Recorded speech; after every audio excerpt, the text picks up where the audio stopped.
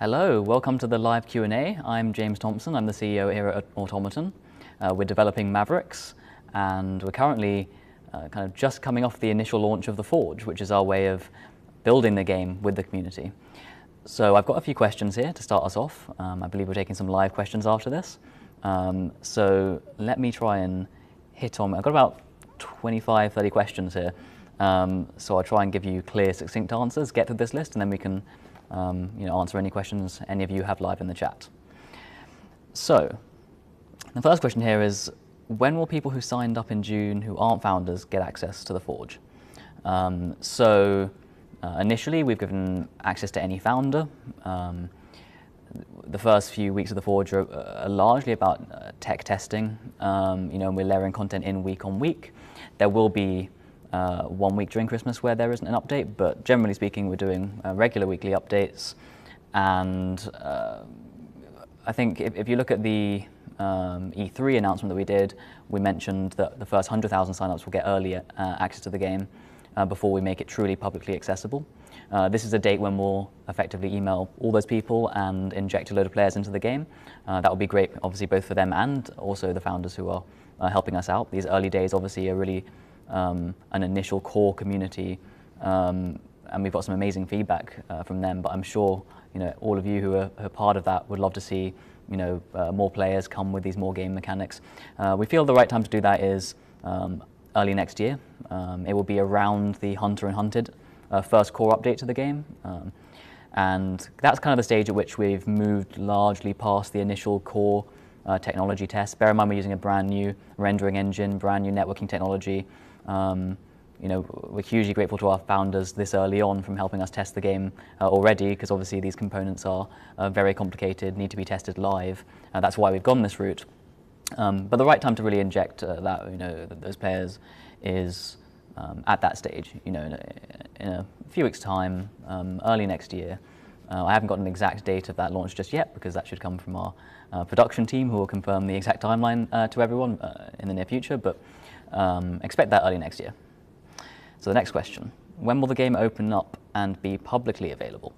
Um, so obviously one of the benefits being a founder um, is you know, kind of exclusive access to the game. Um, it's far from the only benefit. In fact, the main benefits uh, are still to come. Um, what we'd like to do is make sure that uh, before we give access to the public that we've actually you know, made sure that uh, we've represented founders uh, well enough in the game. There are a number of benefits you should expect for you know, helping us out, supporting the game. Um, and so, uh, first of all, I'd like to mention that you know, obviously a number of those things will go in the game first.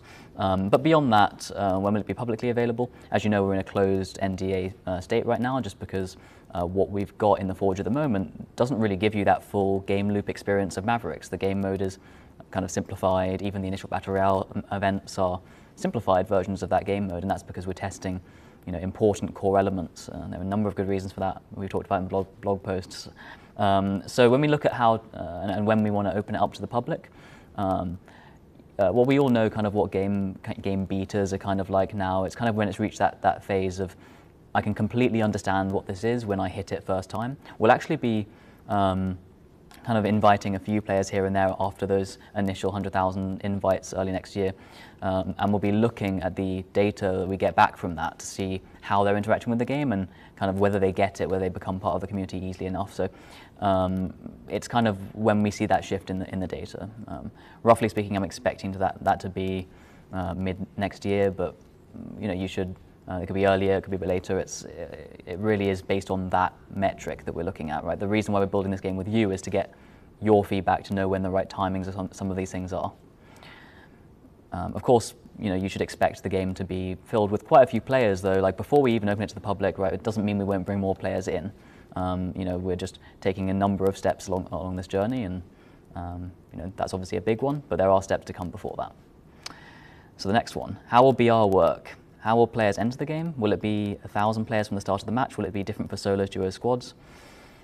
Um, if you're asking about the initial uh, play tests, which we're starting very shortly, um, this will be solo testing. Um, it could be up to a thousand players. Um, we won't necessarily kind of really drive the messaging to get as many players as we physically could into the game for these first few tests because you know the most important things we need to test the nuts and bolts before we uh, really spam everyone to, to try and uh, fill up a lot of those servers. But so, so they may start with fewer players in the game initially, but yes, they do support a thousand players. Uh, we'll be running them in kind of isolated play sessions, um, specific periods of time initially, and then it will become something that you can constantly online matchmake next year. Um, so solo initially, then we'll be adding duos and squads. Um, how players enter the game, you'll be kind of automatically thrown in from the open world initially, but um, this completely changes uh, later on in the Forge when we introduce the social hub. Um, at this point, this will be a match-made experience. You'll um, queue up whether you're in the open world or social hub. You'll then um, drop in through the drop pool, um, and like so, so this will evolve over time. Uh, so it really depends on whether you're looking at the kind of final battle royale experience or the initial last man standing playtests. You know, one leads into the other, um, but you'll see very shortly kind of how we begin testing this, and then we'll update that week on week. So what's the Founders Hall, and when can we expect it in the game? Um, the Founders Hall is part of the Social Hub, um, so it will come with an initial version of the Capital Social Hub.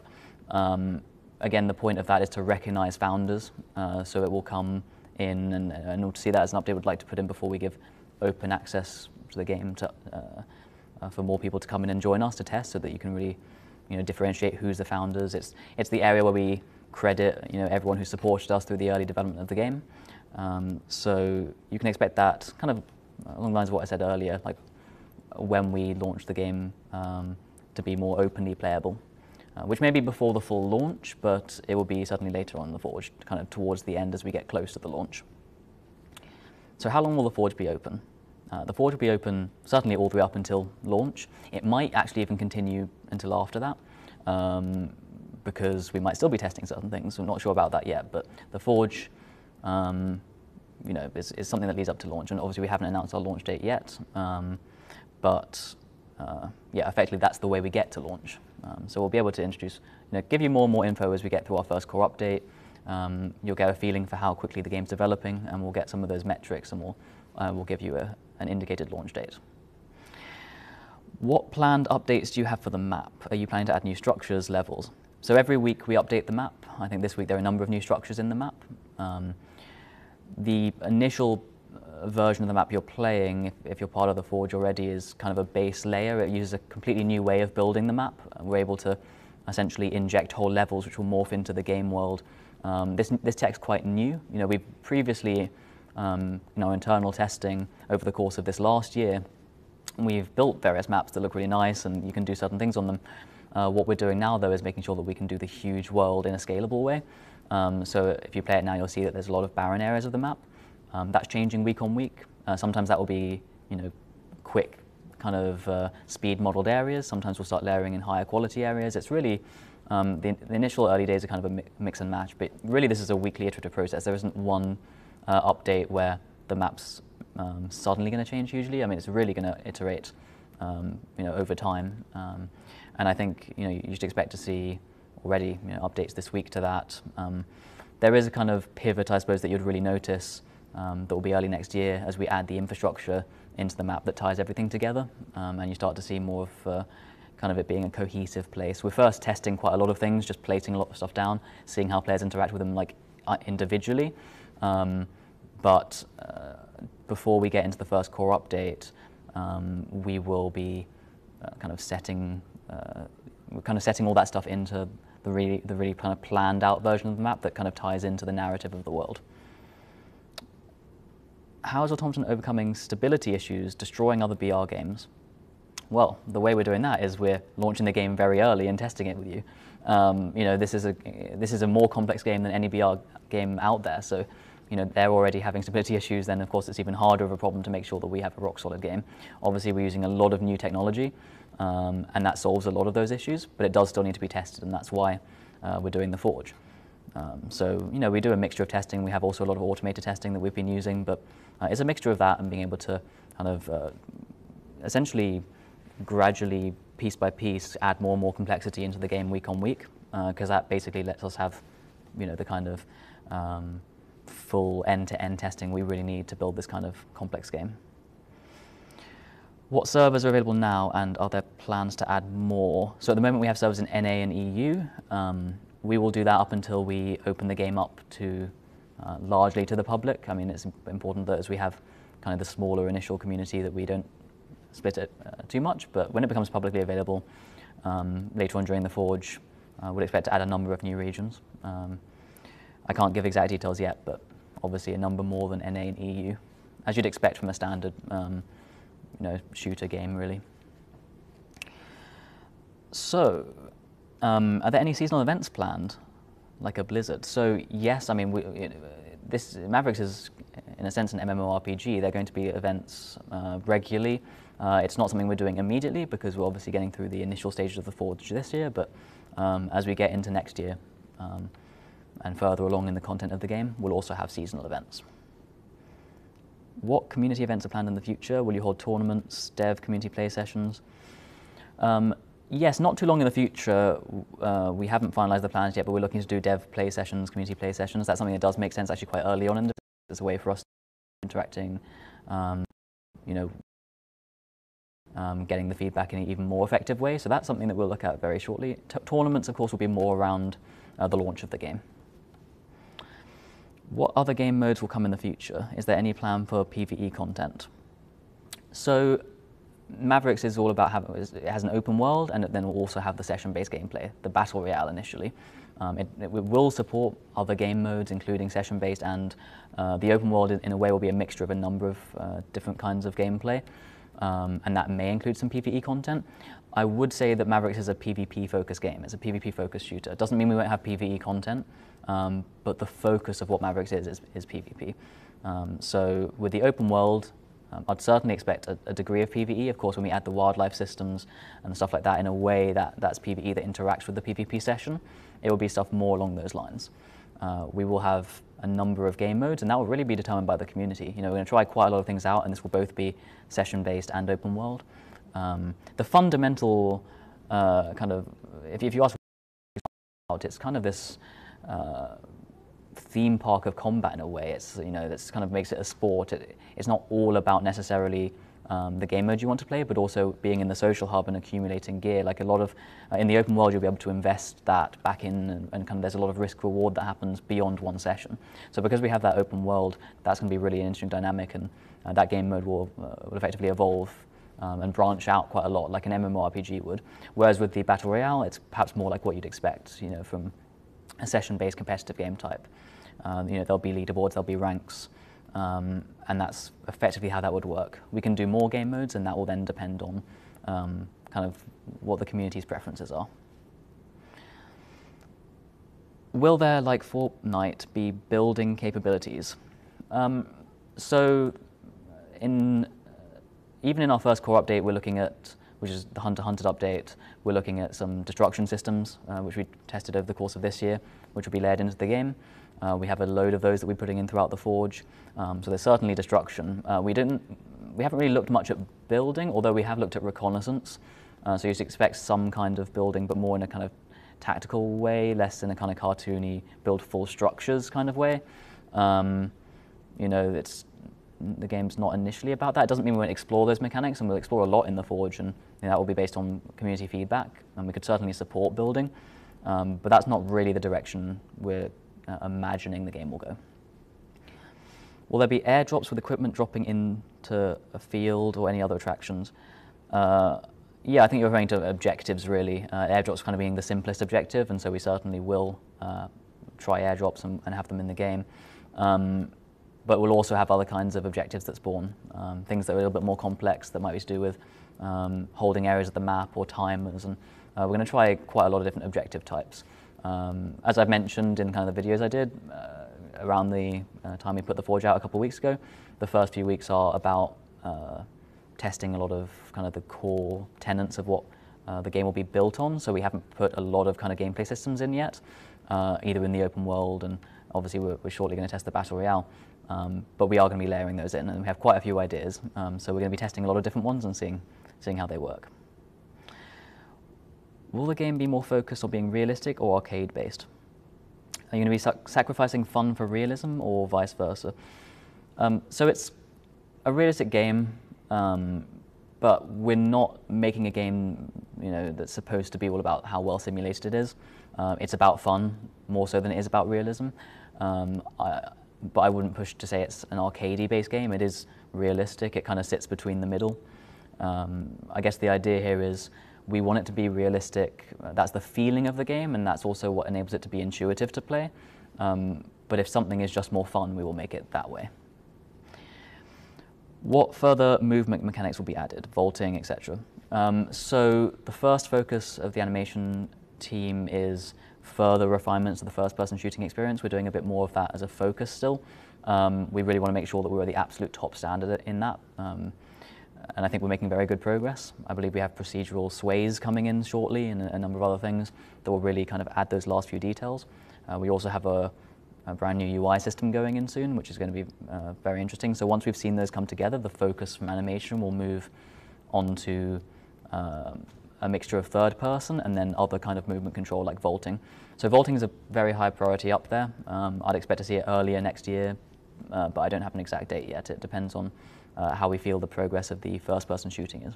Because uh, I think we'll all agree, like we really want to refine that and get that to a good place. Um, but it is a high priority and you, you should see it soon. What is the objective of the game? What's the story? So I touched on this uh, earlier, and there's some narrative on the website. If you check that out, there's a story page that gives you a bit of context around the factions um, and the capital. Um, we're going to be releasing a lot more of that as we open up the capital.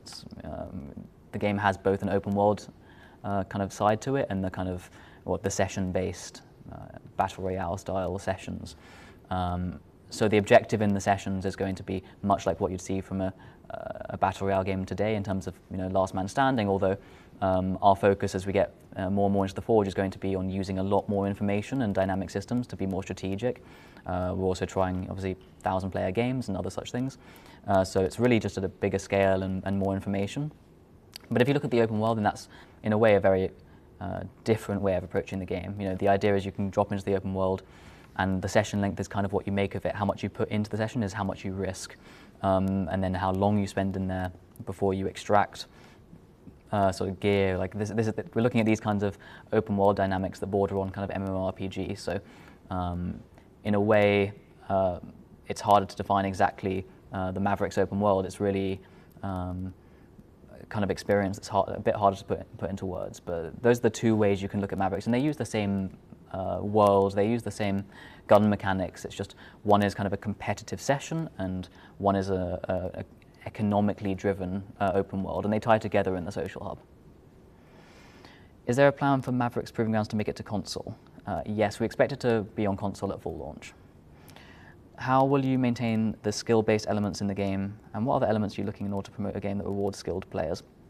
Um, so like I was just saying, I think in the Battle Royale, in the session-based elements, I think it's quite clear that it's uh, a focused skill-based session uh, where you, are looking at things like ranking and high uh, ranking, you know, those kinds of things. Um, and in the open world, um, there is a degree of investment versus return, like as well as the skill, and it kind of balances a bit more. Um, but how we maintain that is really through, as you'd expect from a, a, shooter, you know, it's all about the gun balancing. And we're getting a lot of good feedback right now, actually, um, even in these early stages, on the details of gun balancing and how that can work for uh, both the more casual players and the more competitive players. Um, it might, we can balance it differently depending on the game mode, although we would tend to try and find the, the best kind of unified medium depending on kind of how that works out during the forge. Um, so, you know, we maintain the skill-based elements really by balancing gunplay the right way. Uh, that will then also bleed in as we go into our first core update, Hunter and Hunted, in how much information you can get from the environment. You'll be able to leave footprint trails, bend the grass, uh, destroy various things. Um, as we look at that, of course, that brings a new layer of strategy, and no one's really seen that before, especially not at massive scale with a lot of players. Um, so that's something I think we're all going to learn from and iterate. What are CRTs, how do they work, and why are they beneficial? So CRTs are some initial tokens that can give you progress throughout the early days of the Forge. They let you unlock the faction gear. Um, essentially, we'll be using these um, to reward participation in the early days of the Forge. Um, they unlock cosmetic content, and that will be recognized in the final version of the game in a way that no one will be able to get again in the future. Um, so far, we've got a very basic initial game mode, so you essentially kill other players and deposit them. Um, but we are in the open world. Uh, you also get them for winning Battle Royale. Um, but the dynamic of how you get these will you know, change as we test different gameplay over the course of the, the Forge. And by the time we add the economy, then uh, at the moment we're looking at CRTs being then effectively replaced by the currency system of the game. will we be able to keep any rewards gathered during the forge? Ah, so I just kind of touched on that. Um, so it's not necessarily that you'll be able to wear it again, but we will, we will certainly recognize all the rewards. We wouldn't want you to feel like you know, you've invested time into the game and that we devalue that. Um, so we'll find a way to recognize it. That may be in terms of a trophy that represents the progress for your players, your time during the forge, and stuff along those lines. Uh, we've not finalized the exact details yet, but we will be recognizing that progression. Um, if it's something that needs to be replaced by something new, there will still be a way in which it's recognized in, in the social part of the game. Will there be creative transportation, like Ring of Elysium, snowboard, snowmobiles? Uh, yes, uh, there's a vehicles update. You'll see it on the timeline um, for the Forge. Um, that will start with the more standard stuff, but the vehicle system we already have is, um, you know, supports a number of different kinds of, uh, you know, vehicles, and it certainly would support snowboards, snowmobiles, even helicopters. Like that, obviously, like, um, you know, we'll see what works best for the game. Um, we have a vehicle system um, that we're looking forward to trying out um, but we'll see. And there are obviously the higher mountainous areas of the map, so I would expect to see some kinds of, of snowmobiles up there. So we'll see how that goes. What are the core updates mentioned as milestones on the website? How long is this timeline? So this timeline runs until um, effectively when we announce uh, the full launch of the game, pretty much up to the full launch of the game. Um, it's, uh, you know, something which we haven't put dates on just yet because we want to test out, you know, and see the progress in the first few weeks of the Forge before we commit to it. But um, typically each uh, core milestone we're looking at um, around two months um, of development. Uh, it, it, would depend, some short, maybe it could be a bit shorter, um, but we'll really see how it goes. Um, so that gives you an idea if you look at the timeline, uh, kind of what we see as a core update. And then within each core update, we'll have weekly updates.